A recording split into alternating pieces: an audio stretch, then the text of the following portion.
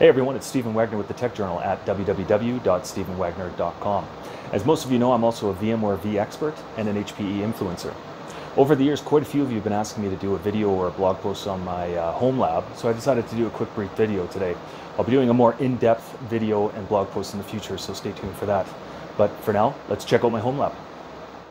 And here we are. Compute and storage, air conditioner, and spare cables. We'll just start off with the uh, compute here. You'll notice that I actually have quite a few uh, stickies uh, blocking serial numbers and whatnot.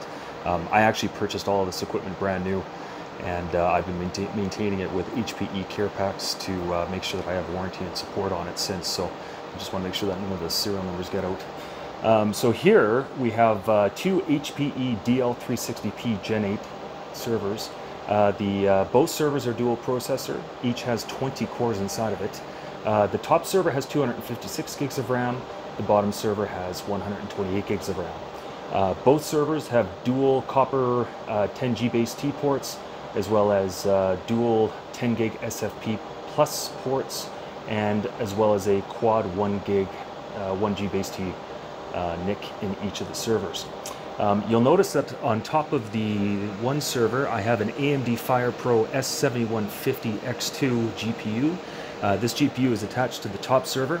Um, as a lot of you probably are aware, this is not a supported GPU for this server just because of the thickness.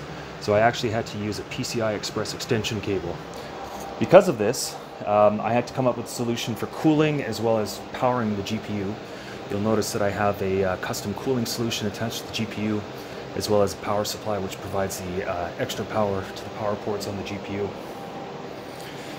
Both of these servers are running uh, VMware ESX 6.5, I believe, or it could be 6.7, um, whatever the latest supported version is for the Gen 8s.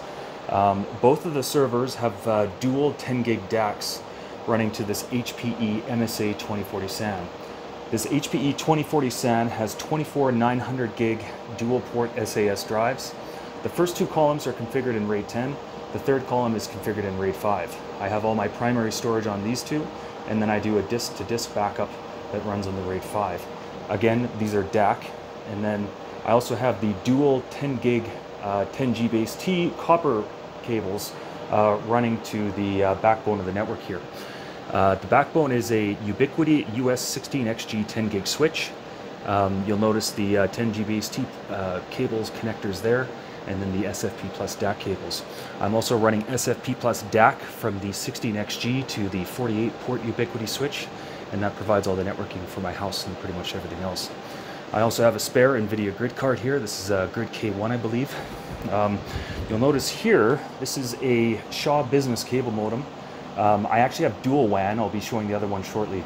Uh, this cable modem does 750 megabits per second down and 120 megabits per second up and it uh, goes to a virtual machine that does the dual WAN balancing uh, for my entire network. And so this is the other side of the dual WAN setup. Um, as you can see, I've got a fiber modem. This is TELUS Pure Fiber for Business. I get about one gig up and one gig down. It's really awesome. I get about three milliseconds latencies. Um, one of the reasons why I picked up the second connection is because I do a lot of work with VDI and I wanted to try to get the uh, latency on my side as low as possible for when I travel. Um, and it just works freaking great in my initial testing. I only got it set up uh, just in the last week. You'll notice that I have the uh, network cable going from the fiber modem down to another UniFi switch, which then shoots it back up to the room with all the servers and storage and networking equipment. Um, you'll also notice that I have a Synology DS1813 Plus. I've got about 16 terabytes of usable storage in here. Uh, this is what I use for my uh, backups. Um, I mentioned earlier that I have the disk-to-disk backups running to the MSA, and then I have a, it uh, goes again with a backup copy job to the Synology, which then gets pushed out to the cloud. I also have an old HPE ML350G5. This is powered off, unplugged, and has no purpose whatsoever but to uh, look good and hold the Synology unit. You'll notice underneath the desk here I have an HPE ML310E Gen 8 V2. This server is actually pretty cool. I have a IO Crest um, NVMe to PCIe card in here, and I've got four Sabrent uh, two terabyte NVMe disks.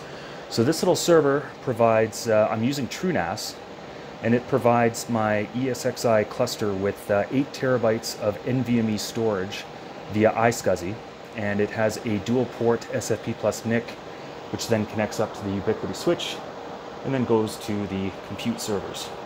And what I use this little guy for is video editing, as well as my uh, VDI home lab work with uh, persistent desktops, instant clones and whatnot, and all that fancy stuff.